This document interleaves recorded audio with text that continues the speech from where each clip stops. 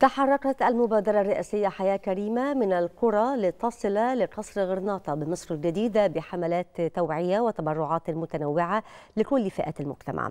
تمزج الحملة بين التوعية بأهمية الرياضة وتعريف الناس بأضرار التنمر وسط جهود كبيرة لإحداث تغيير ملموس في حياة المواطنين.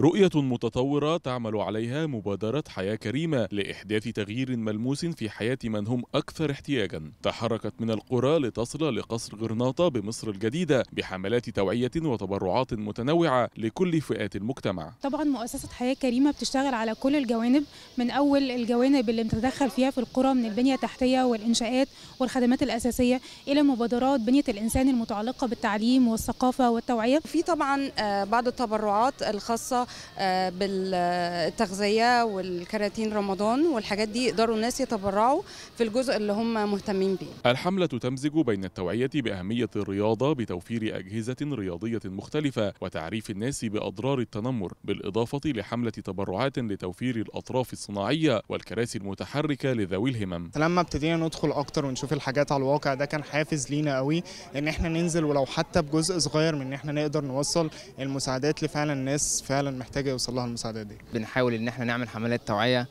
ضد التنمر. لأن التنمر دلوقتي يعني مشكلة دلوقتي ظاهرة خصوصا على ال social media.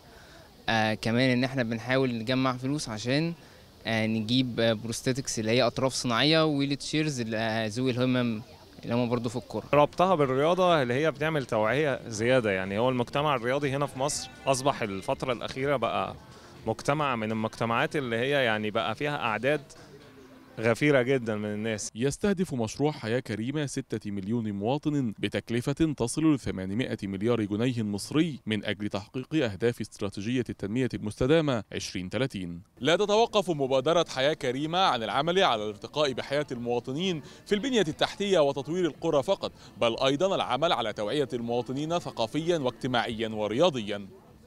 كريم بيبرس التلفزيون المصري.